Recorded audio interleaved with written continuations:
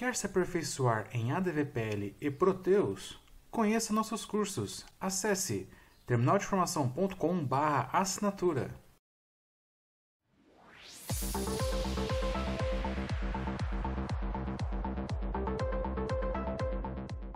Salve, salve, jovens! Como vocês estão hoje? Espero que estejam todos bem.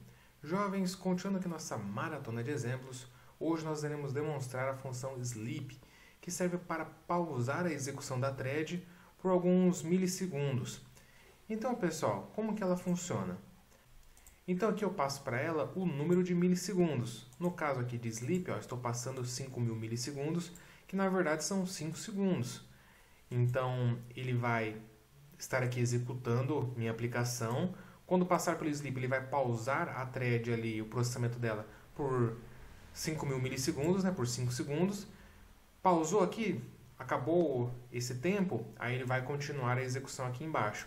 Então isso aqui é interessante, às vezes nós temos, por exemplo, a geração de um arquivo de, de PDF ou algo nesse sentido que está demorando um pouco, nós podemos adicionar um sleep para esperar acabar o processamento desse arquivo para depois continuar a nossa aplicação.